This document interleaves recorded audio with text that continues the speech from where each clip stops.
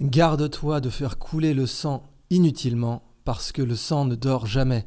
Saladin a dit ça, celui qui a reconquis Jérusalem et qui a accessoirement affronté les assassins. Le type faisait mettre par ses gardes du corps de la cendre ou de la farine autour de sa tente pour détecter les empreintes des assassins.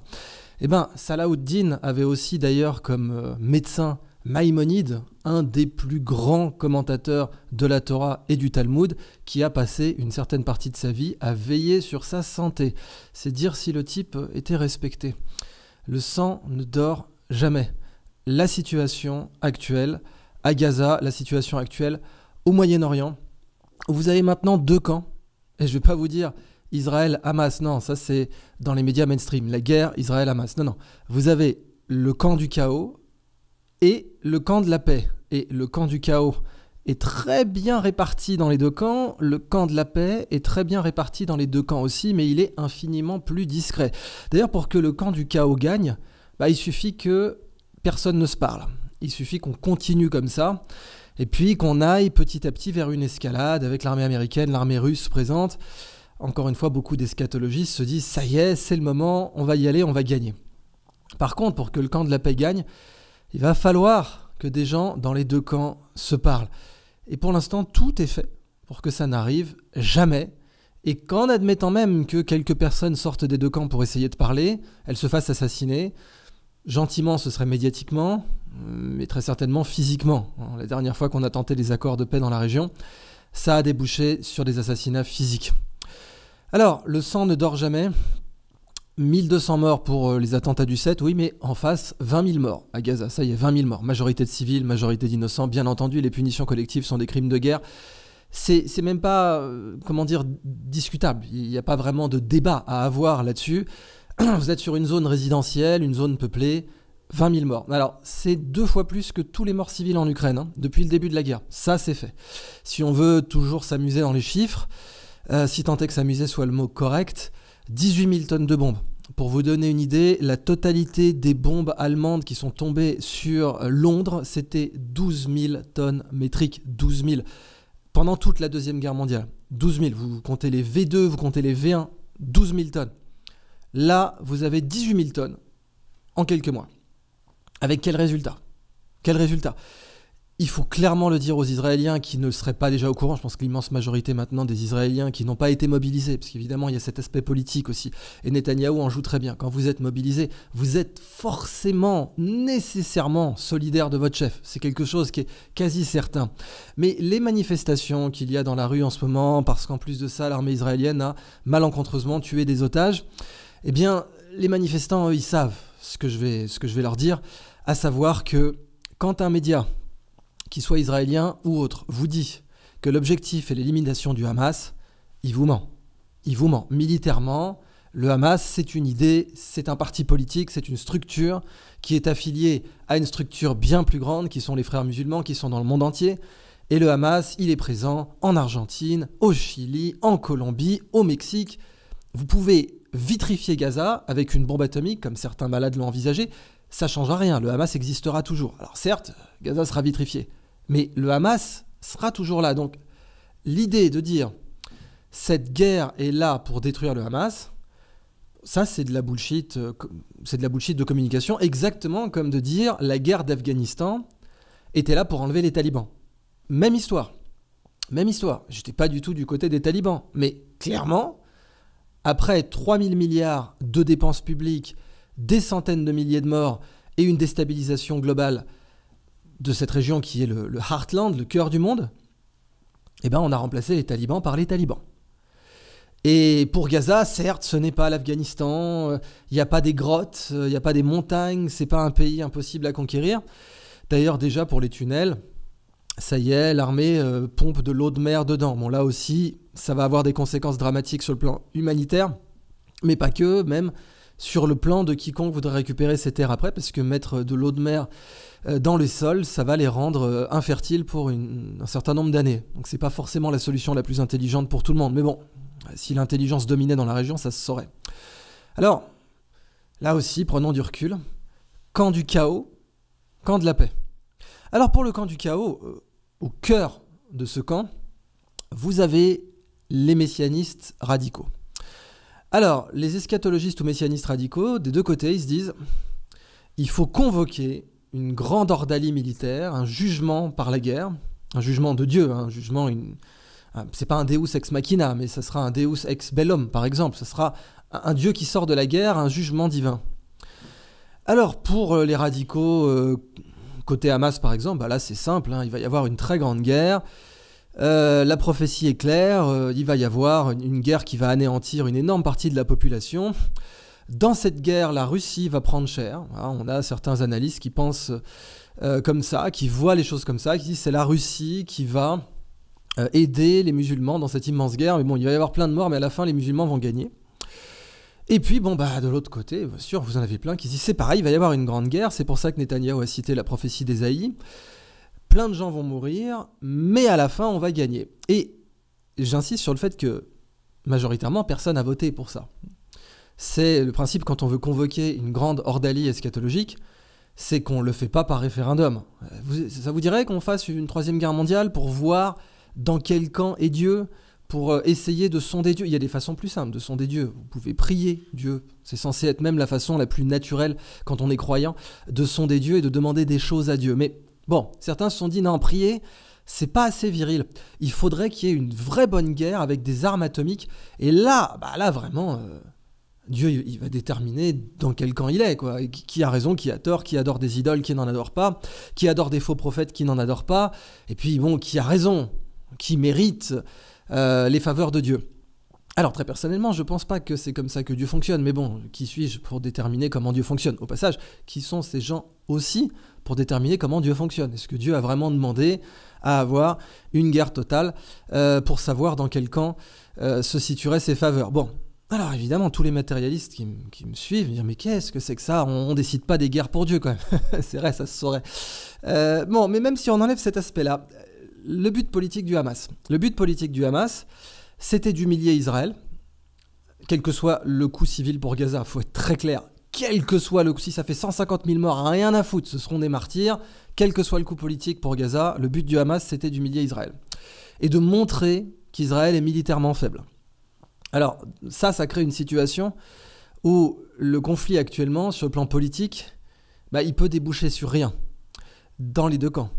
Parce que il faut être clair, en 2024, euh, vider Gaza de ses habitants vers l'Égypte, c'est pas possible. Et on le voit déjà, c'est-à-dire que même aux États-Unis, politiquement, même l'administration Biden, dans laquelle on a Blinken, dans laquelle on a Elliot Abrams, dans laquelle on a Victoria Nuland, même l'administration Biden a dit, quand même, pas, ça va pas être possible.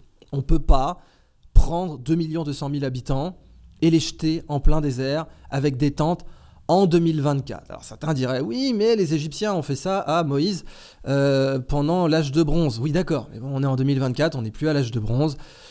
Il y a des choses qu'on peut plus faire. Voilà.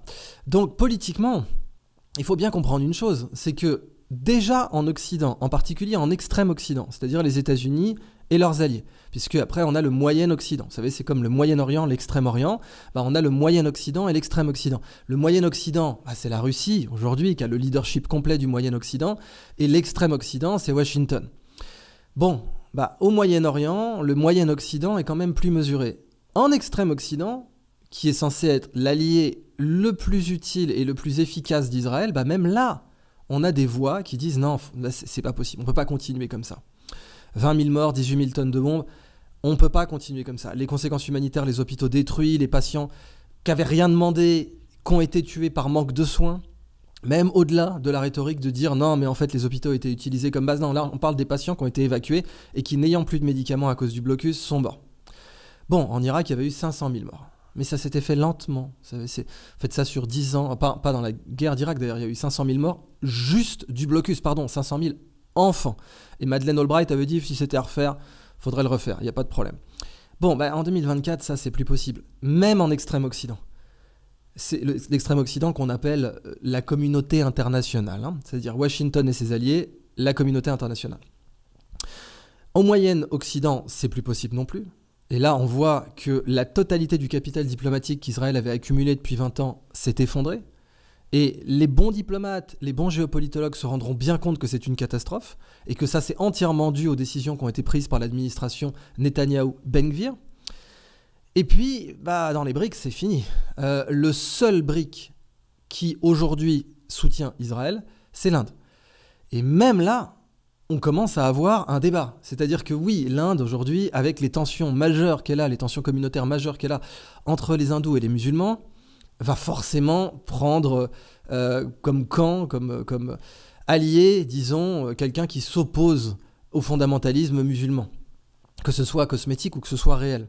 Mais le problème, c'est qu'après, vous avez les autres aspects, les aspects politiques profonds, l'Inde, ancien pays colonisé par l'armée britannique, etc.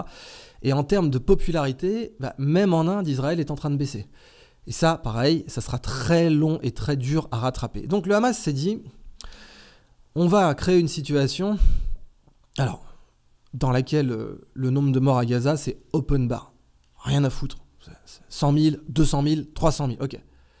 Mais à la fin du compte, ce qui va se passer, c'est que ce seront, nous, le Hamas, les représentants de la cause palestinienne, surtout pour la génération TikTok qui verra ah, Hamas égale Palestine, parce que bon, les dinosaures du Fatah, ah, ils sont plus dans le coup, les mecs. Puis de toute façon, euh, on voit bien, ils font rien, ils bougent pas, ils sont forcément cons et, lâches parce qu'ils bougent pas, ils font rien, puis surtout, ils ont renoncé à la violence, les imbéciles. Alors, vous imaginez bien que les vrais résistants, c'est le Hamas. Ça, c'est le calcul du Hamas. Pouvoir faire une OPA sur la cause palestinienne, c'est en train de marcher c'est en train de marcher. Alors, même des gens euh, comme Thierry Messant, hein, ils vous disent, euh, bah non, en fait, euh, le rêve politique, ça serait d'amalgamer Hamas et cause palestinienne. Mais bon, même en laissant Messant de côté, on va citer Haaretz. Haaretz ça apporté des preuves dans lesquelles Netanyahou disait quiconque veut empêcher une solution à deux États devrait soutenir le Hamas. Ah, c'est fou, mais c'est comme ça. Il faut se rappeler, hein, à une époque, quand on avait Isaac Rabin qui parlait euh, des intégristes dans son camp, quand il parlait de gens comme, euh, comme Baruch Goldstein, le terroriste, il disait ça, c'est notre Hamas à nous. Il a dit ça dans un discours, évidemment, c'était infiniment controversé, mais avec le recul, est-ce qu'on peut vraiment lui donner tort? Quoi qu'il en soit, bon bah Haaretz a clairement rapporté des propos de Netanyahou qui disait oui, si vous voulez empêcher une solution à deux États, il faut amalgamer Hamas et cause palestinienne. Donc tous ceux qui font ça, qui pensent être dans le camp de la cause palestinienne et qui disent Ah oui, le Hamas, c'est des résistants, c'est eux qui représentent la résistance palestinienne. Vous êtes en train de jouer ce jeu-là. Vous êtes complètement tombé dans le panneau, vous êtes tombé dans le piège de créer un amalgame durable pour pouvoir dire d'ailleurs, regardez, ce n'est pas la guerre Israël-Palestine. Non, non, non, non. Mais non, parce que les Palestiniens, ils ont des raisons politiques, ils ont des résolutions de l'ONU. Alors que le Hamas, ah, le Hamas, c'est des barbares, c'est des enfoirés, c'est des ordures. Donc, c'est la guerre Israël-Hamas. Bon, si elle mène à évacuer Gaza, c'est pas plus mal, mais c'est la guerre Israël-Hamas, attention. Et donc, bah voilà, tous ceux qui pensent que oui, oui, euh, allez, on va défendre le Hamas, on va dire que c'est les résistants, etc., bah ils jouent ce jeu-là. C'est-à-dire que dans une génération, d'ailleurs, déjà toute la génération TikTok, pour elle, il n'y a plus de conflit israélo-palestinien. Non, il y a un conflit Israël-Hamas. Ça y est, c'est gagné ça. Et effectivement, tous les gamins de 15 ans aujourd'hui qui disent je soutiens le Hamas comme mouvement de résistance qui représente la Palestine, bon, qui accessoirement a créé une situation qui a fait 20 000 morts. Et oui, créer une situation, il faut le dire clairement. Vous croyez que Netanyahou aurait pu avoir le chèque en blanc qu'il a aujourd'hui pour balancer 18 000 tonnes de bombes? L'opération Plomb durci, c'était 1200 morts. 1200. Là, c'est 20 000. Et pourtant, Sharon, euh, il avait tendance, là aussi, à pas trop lever le pied. Question bombardement. Même Sharon, faucon parmi les faucons, 1200 morts. Là, 20 000.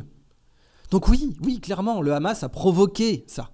Parce qu'il n'était pas possible d'avoir ce mandat politique qu'a eu l'administration Netanyahu-Ben Gvir sans les attentats du 7.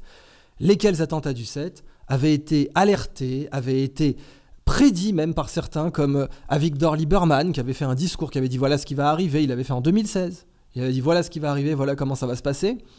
Et puis un an plus tôt, on a toutes les preuves que oui, il avait été déclaré au service israélien qu'une attaque était imminente. Est-ce que l'administration Netanyahu-Ben Gvir a décidé de créer les conditions pour qu'on ignore ça, ou en tout cas de politiquement dire non, non, tout va bien, Madame la Marquise? C'est typiquement les questions que pose Haaretz. Donc oui, si vous voulez défendre la cause palestinienne, je vous le dis clairement, mais très clairement, le Hamas est co-responsable de ces 20 000 morts. Oui, évidemment, parce qu'il était impossible politiquement d'enclencher une telle opération sans avoir le choc, l'effroi des attentats du 7. Politiquement en particulier, à l'échelle des électeurs israéliens, ça va de soi. Alors maintenant, dans les deux camps, pour parler au camp de la paix, le but de cette vidéo, c'est quand même ça. Je suis pas pour le camp du chaos.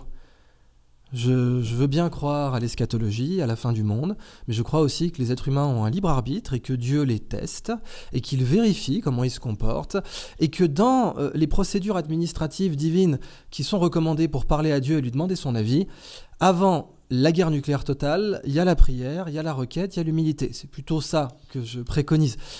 Eh bien, dans ce contexte-là, euh, si on veut parler de la paix, parlons des Palestiniens. Allons-y. Oui, le terme Palestine. Alors oui, par exemple, le Jérusalem Post avant s'appelait le Palestine Post. Oui, parce que c'était le mandat britannique en Palestine. Alors d'où vient ce nom? Oui, des Philistins. Les Philistins sont un peuple qui existe, les peuples de la mer.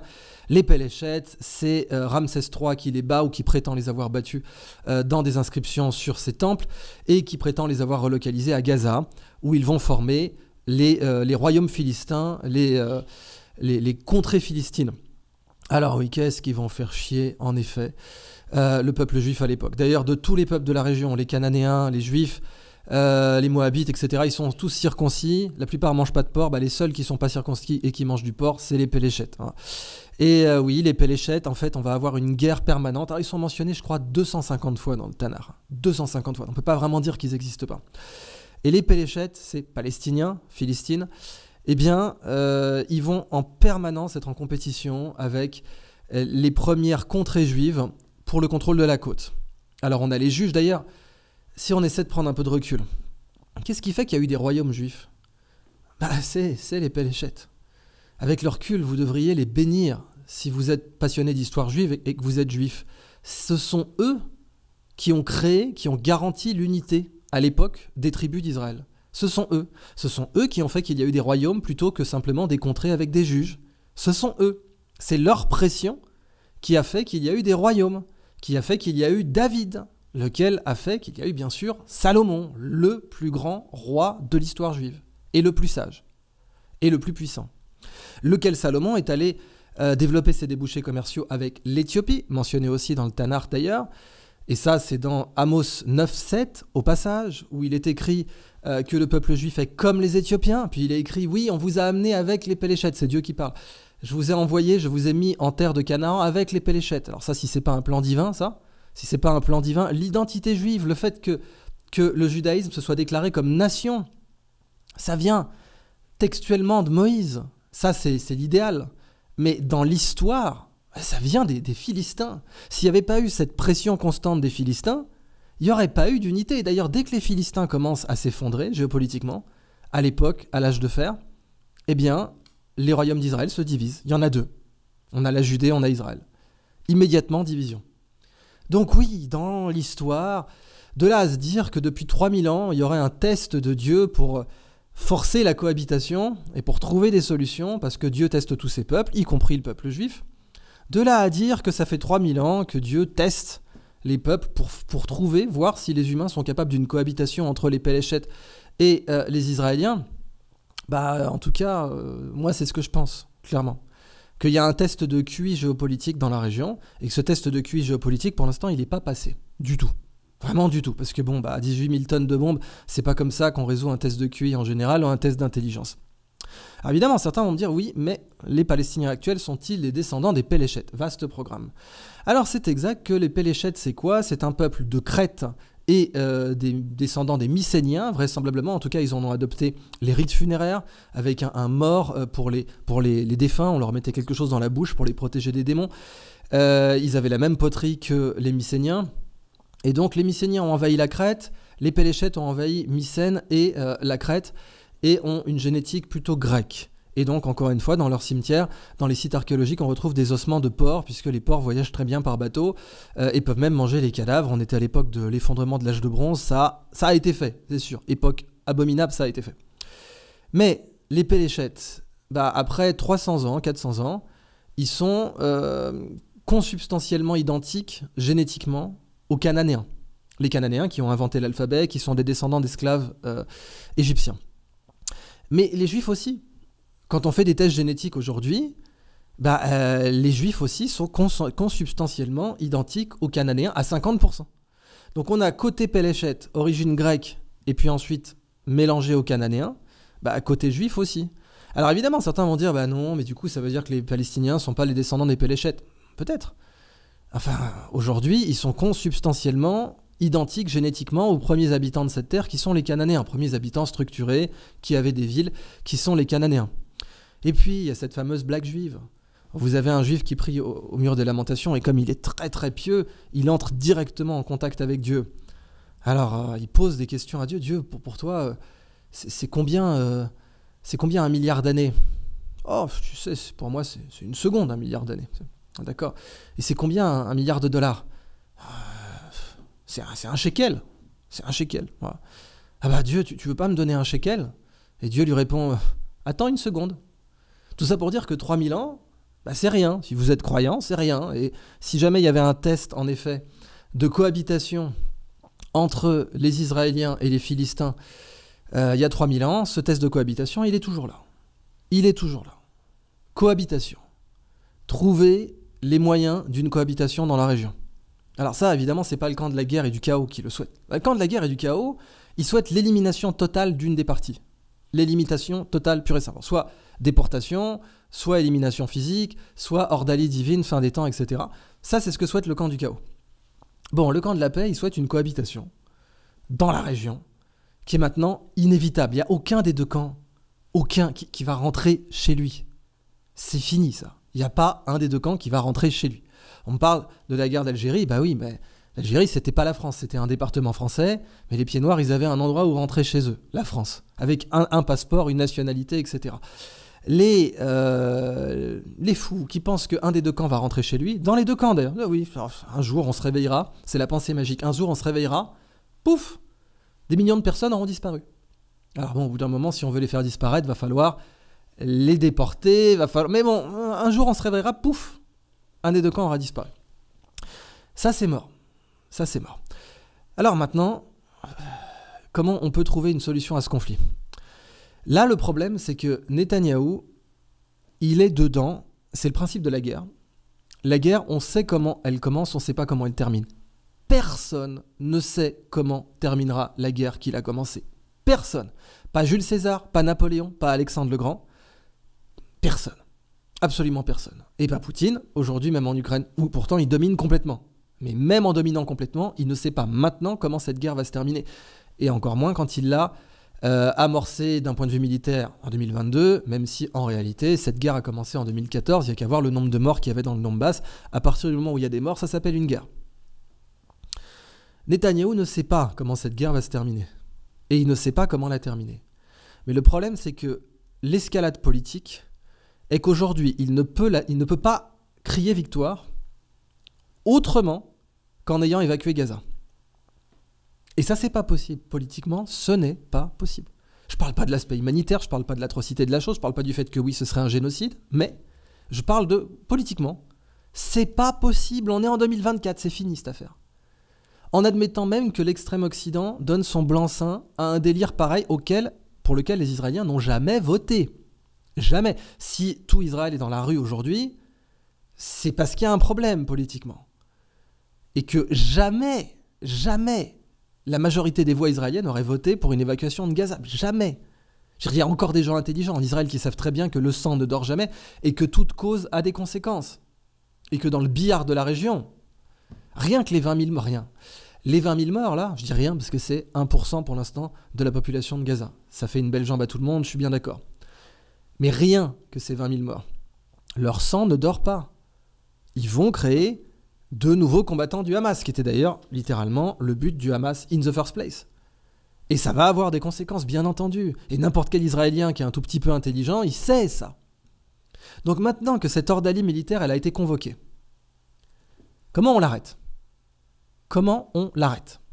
Et comment on cautérise la plaie? Comment on, soigne la plaie? Pour, pour pas que le pu reste Parce qu'évidemment, euh, on peut cautériser, puis s'il y a un abcès comme ça, ça va repéter, ça va regicler du pu dans toute la région pendant 30 ans. Bah, en fait, si Netanyahou peut pas s'en sortir, je suis bien d'accord, Netanyahou Ben Gvir, pourquoi il peut pas s'en sortir? Parce que justement, il y a Ben Gvir en embuscade, qui est le pilier de son gouvernement, et qui va jamais, au grand jamais, en admettant même que Netanyahou soit touché par la grâce, et qui disent c'est con cette guerre là, puis c'est quoi les objectifs politiques? Éliminer le Hamas? Bon, allez, même moi j'y crois pas. Même moi j'y crois pas, on n'élimine pas le Hamas, le Hamas il n'est pas à Gaza, il est au Qatar, mais il est accessoirement aussi en Argentine, au Chili, au Brésil, etc., en Colombie, au Mexique. Donc il ne sera jamais éliminé, le Hamas. Puis sa branche dominante, les frères musulmans, encore moins. Donc ou alors il sera éliminé politiquement, il sera éliminé en étant ringardisé, mais pas en étant martyrisé dans le sens militaire. Là, au contraire, ça va faire de lui un héros absolu. Et toute la génération TikTok pense déjà que la cause palestinienne est consubstantielle au Hamas. Ce qui est une victoire politique totale pour le Hamas et une défaite politique totale pour la cause palestinienne. Alors, Netanyahou ne peut pas s'en sortir. Mais Israël peut. Il suffit de destituer Netanyahou, de euh, d'élire un gouvernement d'union nationale et d'entrer en matière sur Gaza. Alors ça y est, je veux dire, œil pour œil, dent pour dent. Il y a eu 1200 morts, il y en a 20 000 en face. Je pense que c'est bon. Les comptes sont corrects. On peut dire que ça y est, les attentats du 7 ont été vengés. Bon. En tout cas, peut-être que le niveau émotionnel est suffisant pour que on puisse se dire bon, maintenant comment on fait pour empêcher de nouveaux attentats de cette nature d'arriver? Alors, je vais être bassement matérialiste pour le cas de Gaza en partant sur l'idée d'une solution à trois États. Moi aussi, j'ai fait mon deuil de mon idéalisme. J'aurais été ravi d'une solution à un État, c'est complètement mort aujourd'hui. La situation en Afrique du Sud montre encore plus à quel point c'est mort, parce qu'une solution à un État avec un homme, une voix, ça aurait été une course à la démographie, où chaque femme dans les deux camps aurait essayé d'avoir 6, 7, 8 enfants, et on ne peut pas vivre de façon apaisée dans une situation comme celle-là.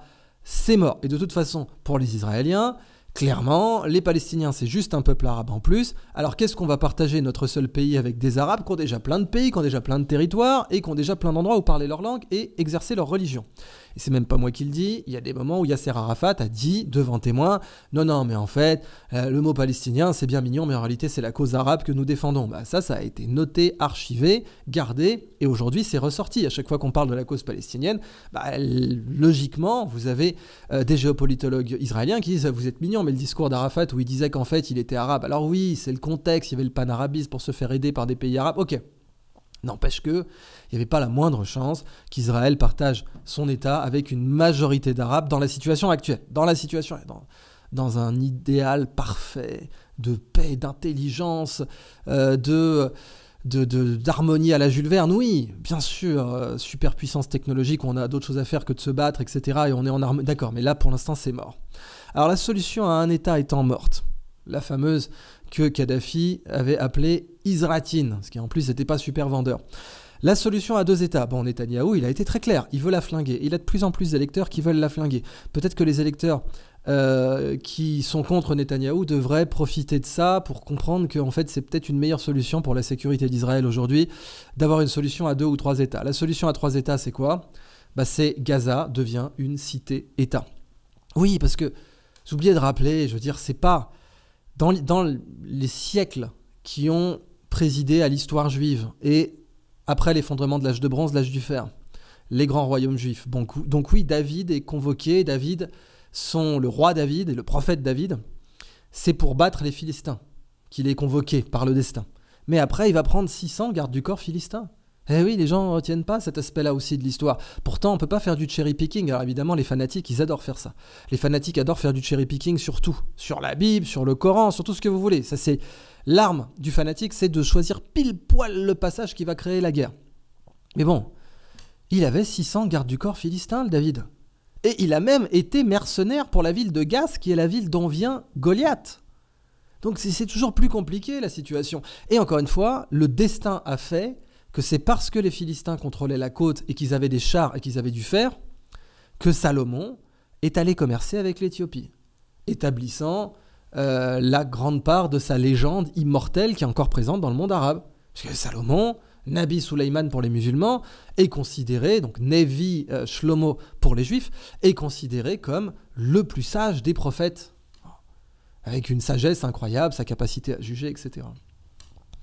Donc voyez cet aspect-là de la chose. Il y a un défi divin qui est la cohabitation entre les Palestiniens et les Israéliens. Il n'y a aucun des deux peuples qui va disparaître. Il n'y en a aucun affronter la réalité en face. Vous allez devoir vivre ensemble sur cette terre. Pour Gaza, juste cette solution-là, on va avoir une opportunité politique qui est après la sidération, après bah, le fait qu'on soit passé à deux doigts d'une guerre mondiale, qu'on y soit encore, que les outils envisagent de faire un blocus, que dans ce cas-là, Israël répondra, ils l'ont dit clairement, ça étendra la guerre à tout le Moyen-Orient. Je ne parle même pas des cinglés qui veulent raser les deux mosquées sur l'esplanade des mosquées ou le mont Moria. Alors là, vous aurez tous les musulmans qui, seront prêts à, venir à pied en Terre Sainte pour en découdre. Non, je parle des gens qui ont encore les neurones connectés et qui sont encore capables de réflexion. Eh bien, résoudre le problème de Gaza, ça va coûter 200 milliards. Voilà. Et ça va rapporter à tout le monde. 200 milliards. C'est rien, 200 milliards. La France est endettée de 3000 milliards. 3000 milliards. Ok On pourrait prendre un dixième de la dette française, ça ferait 300 milliards, ça serait encore 50% de plus que l'argent qu'il faut pour résoudre le problème à Gaza. Ah, vous faites quoi? Eh ben, vous faites de Gaza une cité-État, et oui, les premières villes philistines, c'était des cités-États, c'est son destin d'être une cité-État. Vous faites de Gaza un Monaco croisé Limassol, croisé Singapour, vous injectez du cash, et comment vous allez retrouver votre cash? Bah oui, le fameux canal de Ben Gurion, très bien, vous le creusez. Le canal de Ben Gurion va coûter à peu près 100 milliards. Allez, 120, si on veut vraiment, on, part sur une base de, disons, 100 millions du kilomètre. Voilà, 100 millions du kilomètre. Bon, allez, c'est à peu près ça que ça va coûter. Si vraiment vous voulez mettre un, maximum de moyens, même dans l'élaboration, la RD, bon, vous êtes sur un budget de 100 milliards pour creuser le canal de Ben Gurion, donc c'est-à-dire le canal qui ferait la frontière entre Israël et euh, l'Égypte jusqu'au golfe d'Aqaba, qui rapporterait tout plein de pognon, faut bien le reconnaître. Et après, bah, dans les accords de paix que vous pouvez mettre sur la table tout de suite, vous faites valoir ce futur radieux, où un max de pognon, parce que 18 000 tonnes de bon, ça coûte cher aussi, hein, où un max de pognon est injecté dans la région, où vous obtenez ce canal qui va vous rapporter une blinde, 100 euh, milliards, c'est amorti en 10 ans. C'est un canal qui sera utilisable pour 100 ans, il est amorti en 10 ans. Donc ça, faut aussi bien être conscient de ça. Donc, bon, 100 milliards, et après, vous négociez dans les accords de paix, on fait combien, combien? Voilà, Gaza prend combien? Du, euh, des frais de passage euh, de ce, canal Ben Gurion nous, Israël, on prend combien? Bon, notre frontière est plus longue, donc on va prendre plus. A priori, bon, allez, est-ce que, selon le niveau de négociation, est-ce qu'on arrive à négocier 50-50 Est-ce qu'on arrive à négocier 70-30 Bon. Si les gens voulaient vraiment avoir la paix dans la région, il suffirait de faire ça. 200 milliards, mais c'est c'est littéralement 3 mois de quantitative easing, hein. c'est 3 mois de planche à billets, c'est rien du tout. Rien du tout. Il suffirait de faire ça. Bon, bah pourquoi vous le faites pas? Pourquoi vous ne le faites pas? Et vous créez une constitution à Gaza qui déclare que dans le gouvernement de Gaza, il doit y avoir un juif. Voilà, c'est pragmatique. Allez, boum, y une, on fait une constitution de cité-État. Euh, à la Suisse, par exemple, il y a sept ministres. Voilà, en Suisse, il y a sept conseillers fédéraux. Il peut pas y en avoir plus. Il y a que sept ministres. Bon, eh ben, on dit qu'à Gaza, il peut y avoir que sept ministres aussi, et que ce sont eux qui dirigent, et que dedans, faut au minimum un juif. Et puis après, selon comment vous arrivez à négocier, allez, on, on en met deux. Allez, deux sur sept. 3 sur 7, soyons fous, pas plus évidemment. Après, les Gazaouis vont dire, bah non, vous aurez la majorité. Mais bon, voilà, levier de négociation. Je préfère que vous vous battiez sur ça plutôt que sur est-ce qu'on rase Gaza, est-ce qu'on crée un village de tentes dans le Negev, est-ce qu'on euh, on, euh, on, rend enragé la totalité du monde musulman pour 30 ans, est-ce qu'on se rapproche d'une guerre nucléaire totale? Non, ce serait quand même plus malin de se battre sur, bon, allez, euh, on, dit combien de pourcents pour le canal de Ben Gurion?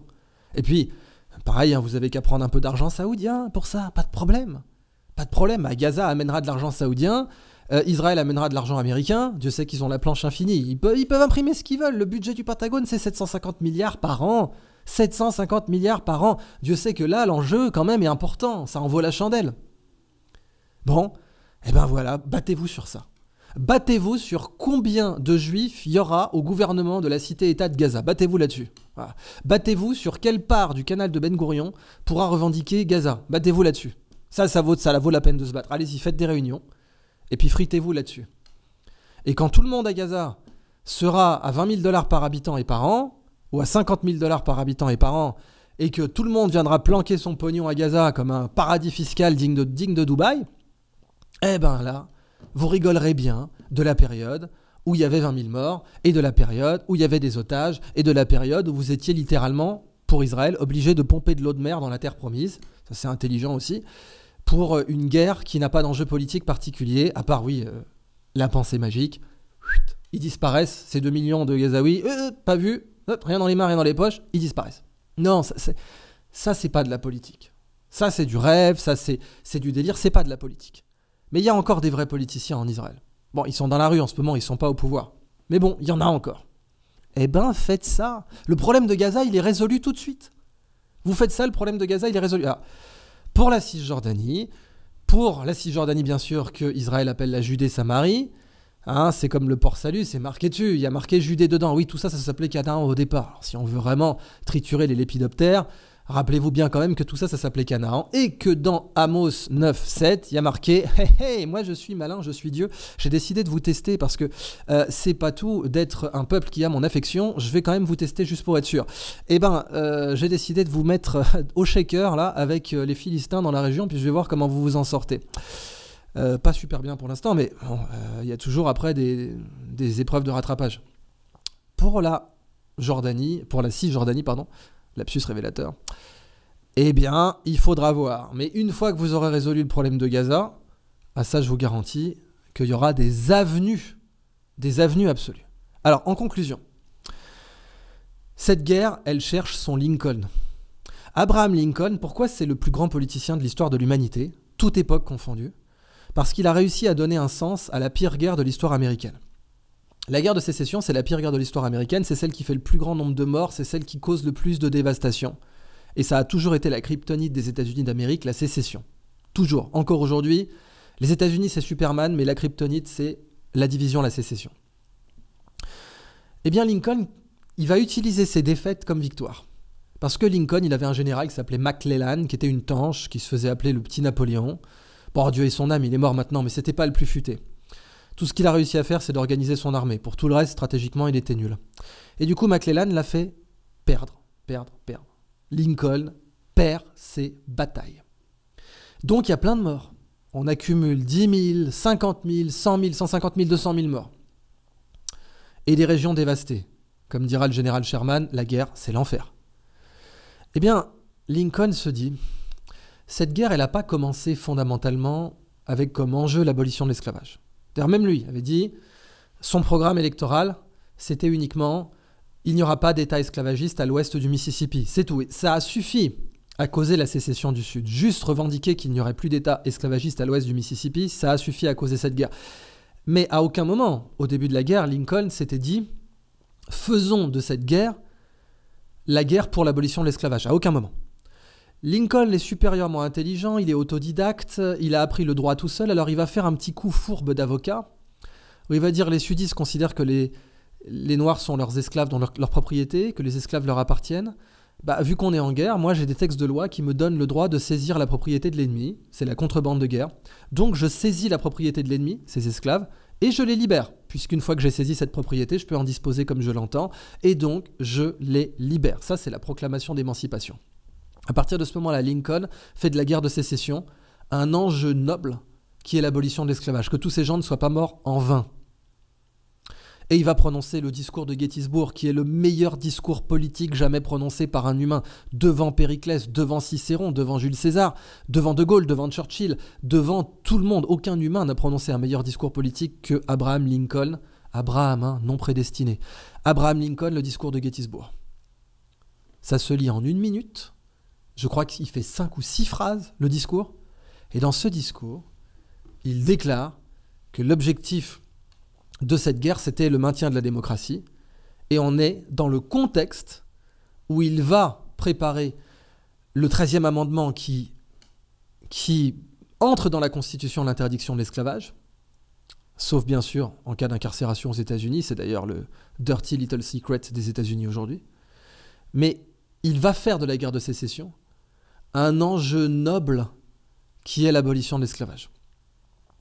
Et ça, ça fait que tous ces morts ne sont pas morts en vain, que les 500 000 morts de la guerre de sécession ne sont pas morts en vain. Et c'est ce qu'il dit dans le discours de Gettysburg, même si il ne parle pas d'esclavage dans le discours de Gettysburg, mais il dit que ces gens ne soient pas morts en vain. Et ça, c'est le combat politique de Lincoln. Il a une guerre sur les bras, il a 500 000 morts sur les bras, il a la dévastation de certaines villes comme Atlanta. Et il décide de donner un sens à tout ça par son génie politique.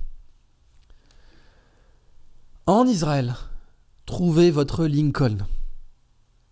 Autrement, cette guerre va être un bourbier sans fin et va isoler Israël à vie. Ce sera irrécupérable, malgré toute l'influence que vous pouvez avoir, ce sera irrécupérable. Irrécupérable. On a d'un côté l'administration Netanyahu-Ben qui, pour ne pas perdre la face, doit faire évacuer Gaza et jeter 2 200 000, moins 20 000 Gazaouis dans le désert du Negev dans des tentes. Pire catastrophe humanitaire de ces 50 dernières années. Et de l'autre, bah, vous avez le fait que c'est juste pas possible. Et que si jamais Netanyahou arrête maintenant, alors déjà Ben Gvir va le flinguer politiquement, et puis ensuite bah, toutes les affaires vont ressortir, il est cuit. La seule solution, c'est qu'Israël se dise c'est pas la bonne direction. Pour la pérennité de notre État dans la région, pour notre sécurité, pour notre avenir économique et politique, c'est pas la bonne direction. Et même Théodore Herzl avait dit Israël ne doit jamais être une théocratie. Jamais. Et la seule raison de continuer à Gaza, c'est de vouloir embrayer sur un Israël théocratique. Bon, Herzl a dit ça, faut jamais que ça arrive. Juste pour rappeler les fondamentaux tout de même. Eh bien, trouvez votre Lincoln. Qu'il donne un sens à cette situation. Et le sens à cette situation, c'est Gaza, cité-État, investissement massif, on creuse le canal Ben Gourion et on se frite, fritez-vous tant que vous voulez. Passez des nuits blanches à vous friter sur combien il y aura de juifs au gouvernement de Gaza et passez des nuits blanches à vous friter sur combien de parts euh, des bénéfices du canal de Ben Gourion aura Gaza versus euh, Israël. Passez toutes les nuits que vous voulez, mettez-le dans la Constitution si nécessaire. Vous avez l'opportunité de créer une cité-État prospère à vos portes qui sera tellement blindée qu'elle aura autre chose à foutre que de vous attaquer. Et vice-versa, vous, vous aurez cette zone tellement blindée que vous aurez autre chose à foutre de l'attaquer aussi. Trouvez votre Abraham Lincoln. Et vous aurez la paix pour 100 ans dans la région.